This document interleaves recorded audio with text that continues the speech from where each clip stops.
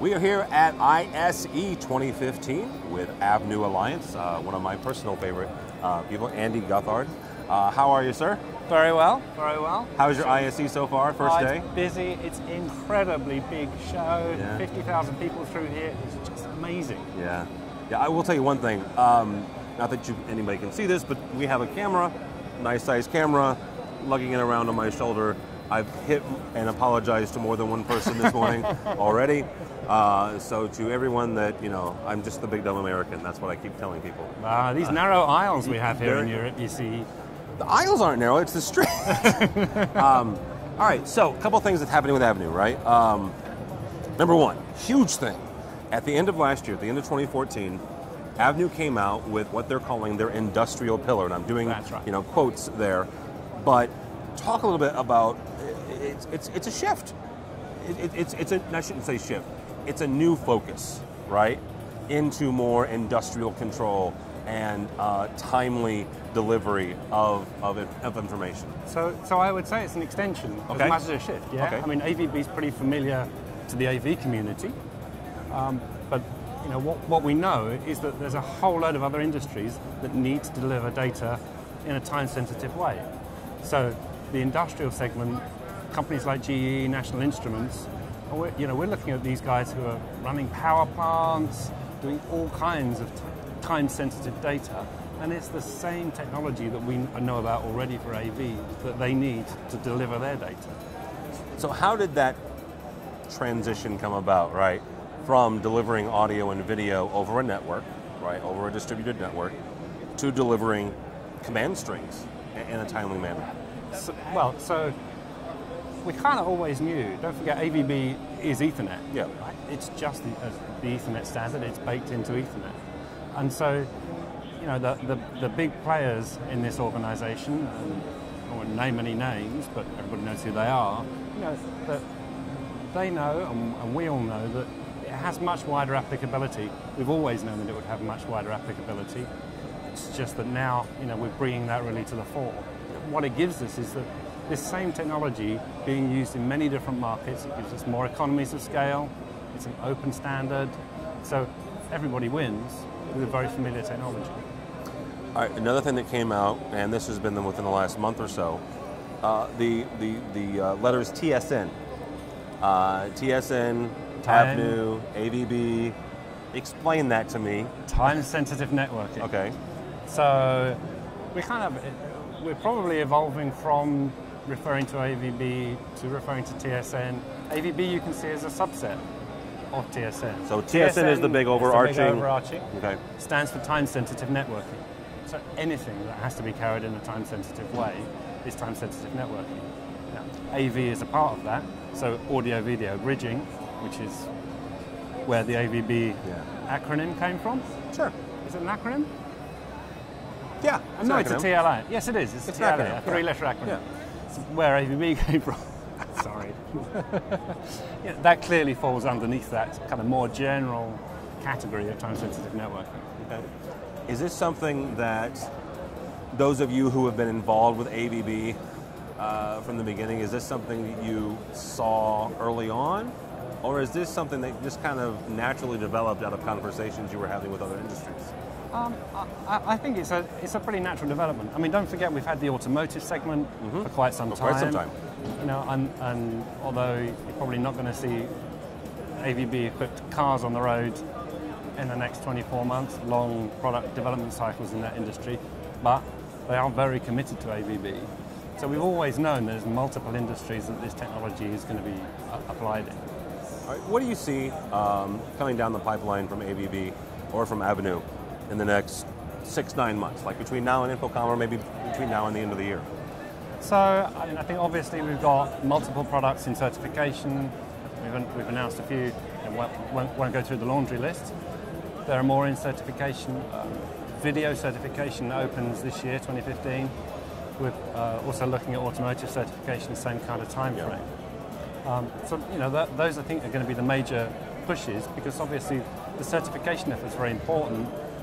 So then people know when they plug their stuff together, it's going to interoperate, it's just going to work. And that's part of the, the key selling points for AVB. All right, Andy Gothard from Avnu Alliance. Thank you, sir. Thank you. All right, now we are with Justin O'Connor from Biamp. How are you, sir? I'm doing great. How are you? Good. Yeah. How was your flight from Beaverton, Oregon? It was a the it was a direct flight. Well, not from Beaverton, but Portland. Oh, yes. Portland doesn't have a lot of direct flights to a lot of places, but it does have one to Amsterdam, so it was good. There's a joke I could make there about. yeah, never mind. All right, so Biamp. Yeah. Um, in my real job, big fan. I, I, I, I spec them, I program Thank all you, that thank sort of stuff. You guys have got a couple things first going down something on the pipeline. First of all, uh, there are three or four Avnu Alliance certified audio product, Yeah. products currently. yeah.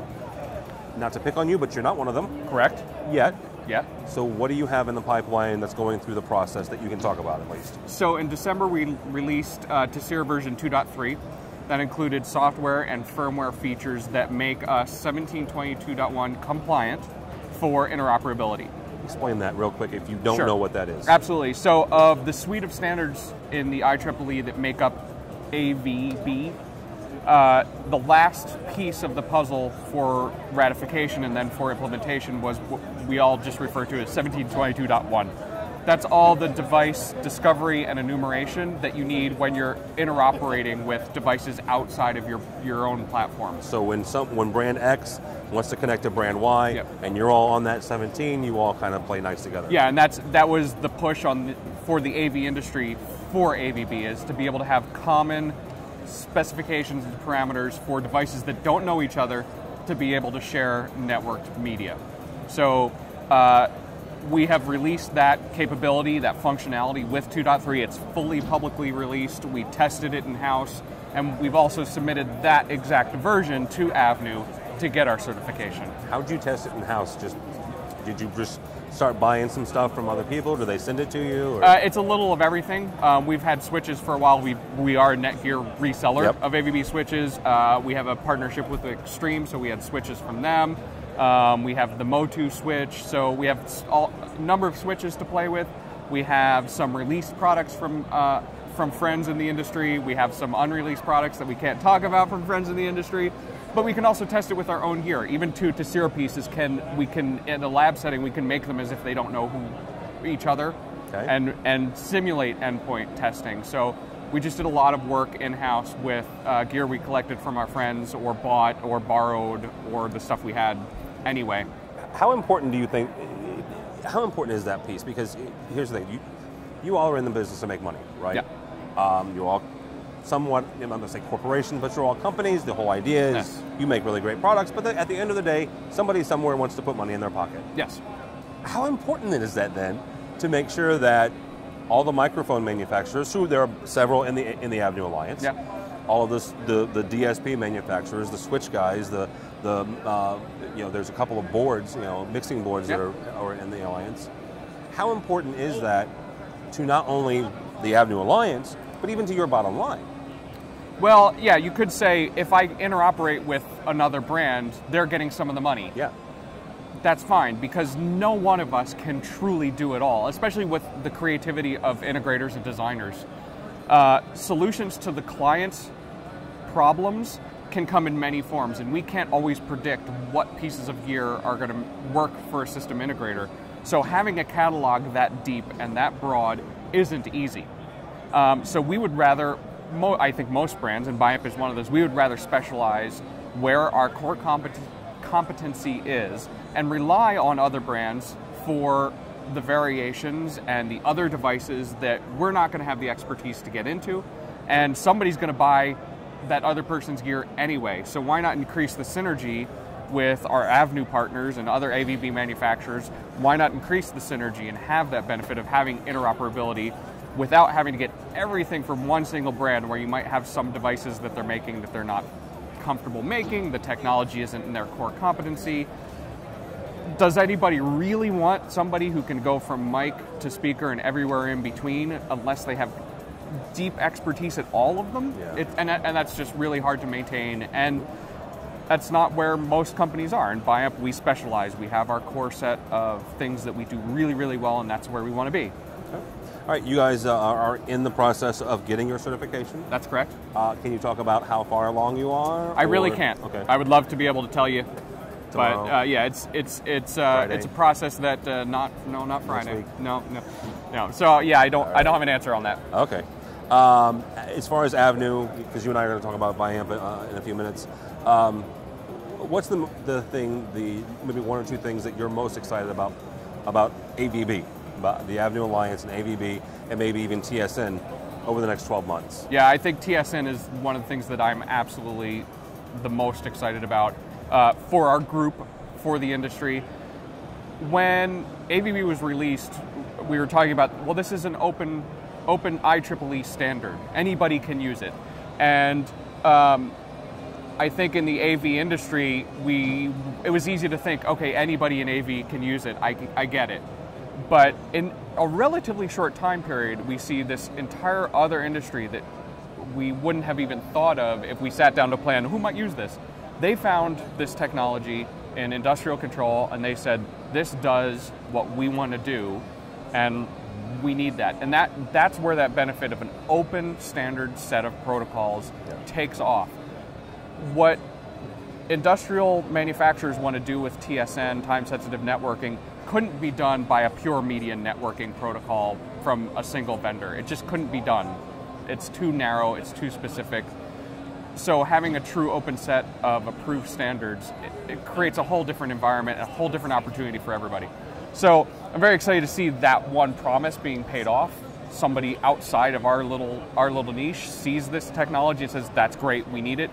But they're also going to bring so much new energy, so much technology that we can all potentially leverage, and and just attention uh, to to increase the awareness other- that from other AV, people. AVB is real. It is real. It's happening. And TSN is a, is a bigger umbrella that AVB fits within.